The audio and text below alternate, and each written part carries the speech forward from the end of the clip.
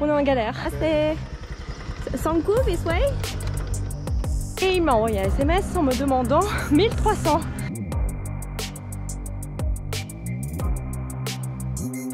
On a redemandé à un local, il nous a dit oui, this way pour Sanku. En avril 2022, je suis partie avec mon monsieur et mon sac à dos à la découverte de l'Asie.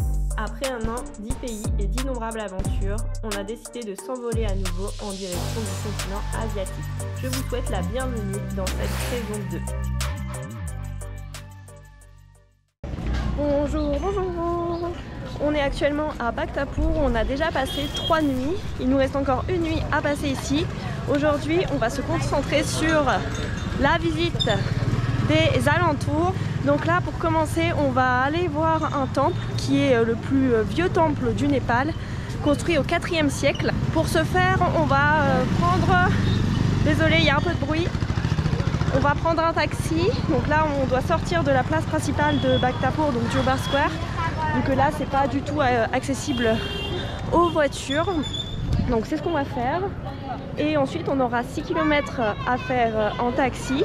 Et de ce fameux temple, on partira ensuite pour une randonnée. Donc euh, une bonne grosse journée nous attend. Normalement, on a 15 km à faire. On va passer dans des petits villages. Ça va un petit peu monter en altitude. Je vous expliquerai tout ça au fur et à mesure. Donc c'est parti pour une nouvelle journée au Népal.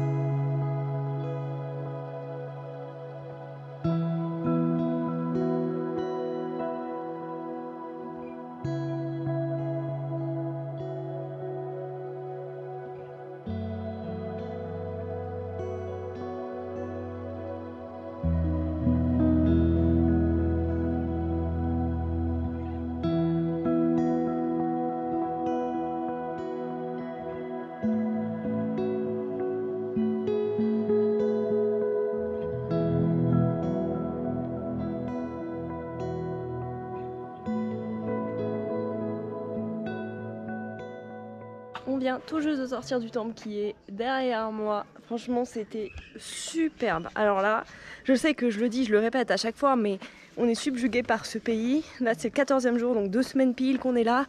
Et vraiment, c'est incroyable. Il était tellement bien conservé. Et pour le coup, je pensais que ça allait être un peu touristique. Mais honnêtement, euh, quasiment pas. Il y a, Un peu plus tard. il y a Au quelques de soleil, touristes. Bon, je sais pas. Il y a quelques touristes, mais en fait, on sent que c'est vraiment un temple pour les locaux, quoi. On a vu des offrandes, on a vu plein de choses, et euh, ouais, je m'attendais pas à ce que ce soit euh, à ce que ce soit comme ça. C'est vraiment une, une vraie bonne surprise. Namaste. No, it's thank okay, you. Danabat. C'est ouais, c'est vraiment une très très belle surprise. Cette journée commence vraiment euh, très très bien. Bref, là euh, on sort Namasté. On sort juste du temple. On va, on va commencer euh, à marcher. Là, on se rend jusqu'au village de Sangku. On en a pour à peu près. C'est 4 km, c'est ça? 4 km, une heure de marche. Donc euh, voilà, il devrait y avoir des paysages. Normalement, on va être en majorité euh, sur un chemin. Peut-être une partie de route, mais, euh, mais voilà, on va voir un petit peu ce que ça donne.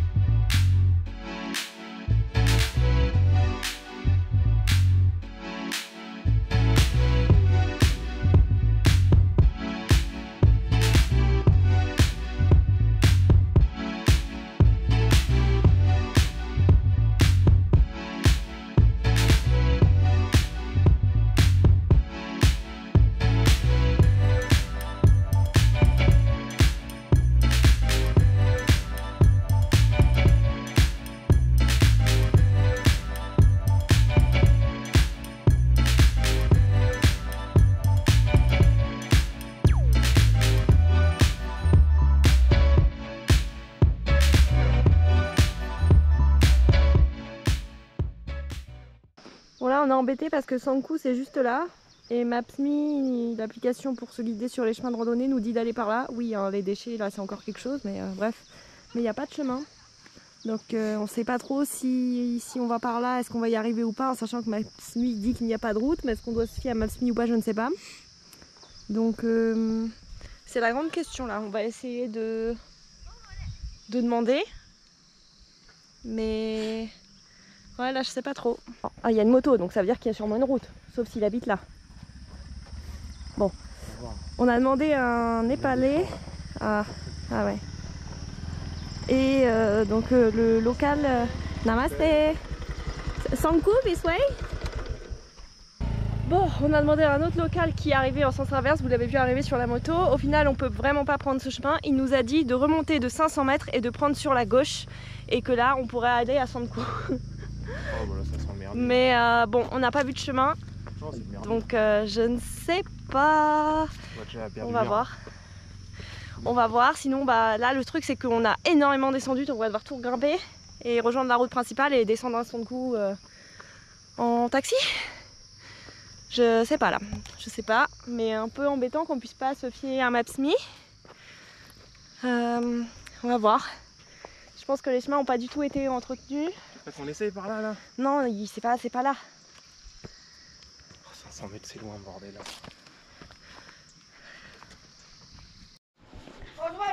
Bon, on a suivi le chemin qui de base était indiqué par euh, Maps.me. On a l'impression de passer dans les habitations, c'est pour ça qu'on l'avait pas pris au début. On a redemandé à un local, il nous a dit oui, this way pour Sanko. Pour l'instant, il y a un chemin, mais euh, ouais, on a vraiment l'impression d'être chez les gens quoi.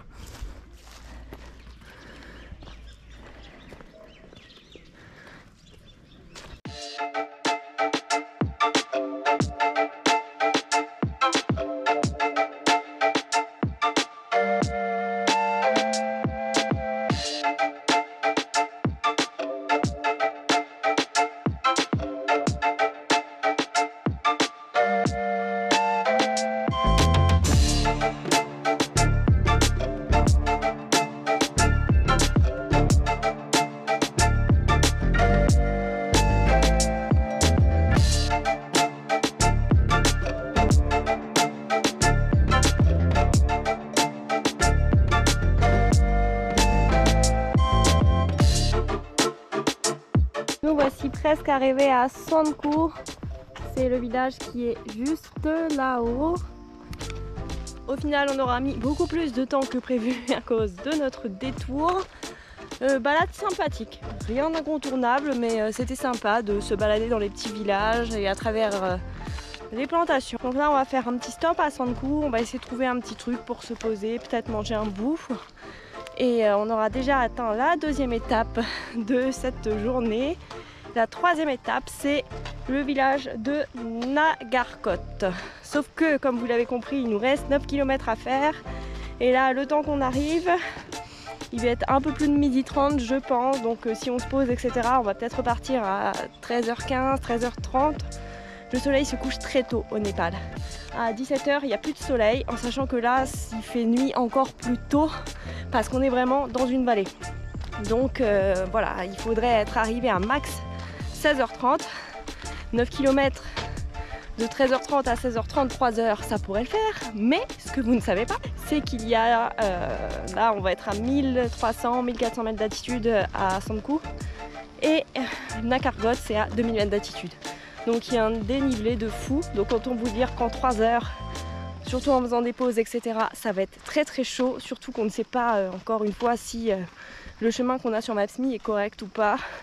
Donc ça se trouve on va devoir faire des détours, etc. etc. Enfin bref, on est, on est un peu chaud euh, là niveau temps. Et on n'a pas, n'a pas trop envie de se presser sur le chemin pour être arrivé avant la nuit.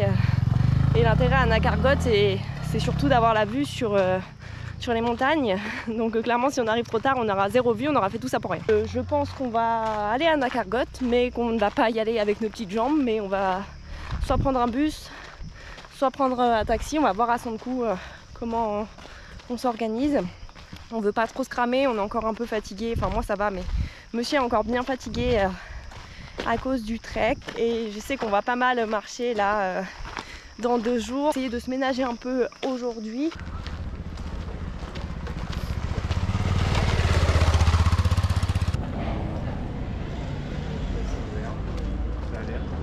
Il y a du monde, je pense que c'est ouvert. On s'est trouvé un boui-boui. On a pris une assiette de momo. Enfin, j'ai pris parce que monsieur ne veut pas manger au bœuf. Je n'ai aucune idée de ce qu'est la sauce euh, là au milieu.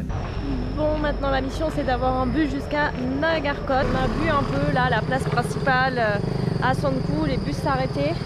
Sauf que comme je vous l'ai déjà expliqué, il n'y a aucune des, des destinations qui sont marquées en anglais. Donc c'est marqué en népali, donc nous on ne comprend absolument rien. Donc euh, bah, c'est parti pour arrêter tous les bus qui passent jusqu'à temps de trouver celui qui va jusqu'à Nagarkot. Hein, écoutez. C'était marqué en anglais, mais ouais, ouais, ouais, faut demander.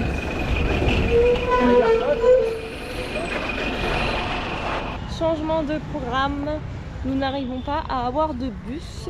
Et en fait, euh, Nagarkot, c'est un village qui a l'air hyper grand, qui suit une route un peu, qui a l'air quand même assez touristique. Mais en fait, on a regardé et les vues ont pas l'air dingues. Genre, l'intérêt, c'était vraiment de faire euh, bah, le petit chemin de randonnée et encore on a regardé et franchement il euh, n'y a rien d'exceptionnel, ça ressemble grandement à ce qu'on a fait ce matin. On skip cette dernière étape, on ne va pas aller à Nagarkot et on va se balader là tranquillement euh, à Sandkou dans la ville. Ensuite on rentrera en taxi à Bhaktapur. Au final rien ne s'est passé hein, comme prévu aujourd'hui.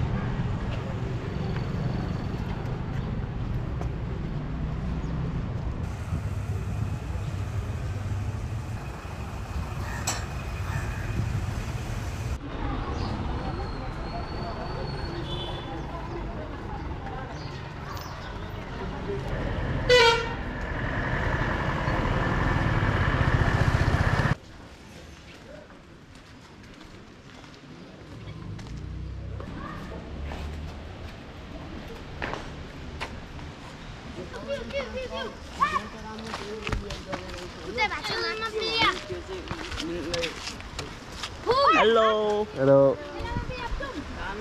Hmm.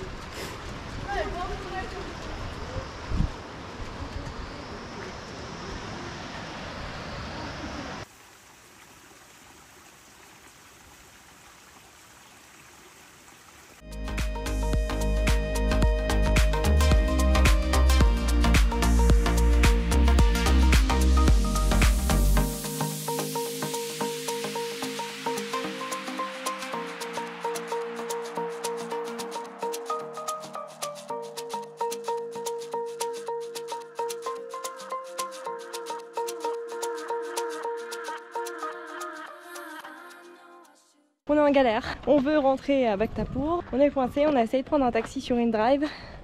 Mais il n'y a qu'un chauffeur dans le coin. C'était 800 euh, la course. On est seulement à 12 km. Et il m'a envoyé un SMS en me demandant 1300. Tout ça parce qu'il a compris qu'on était euh, des occidentaux. Donc euh, bah c'est mort, hein. on a clairement annulé. On a demandé à un taxi physique qui est passé sur le chemin. Et lui il nous a demandé 3000 dans le plus grand des calmes. Du coup on retourne dans le centre de Sankou pour essayer de prendre un bus. Mais comme vous l'avez compris, les bus c'est vraiment vraiment euh, la galère. C'est compliqué.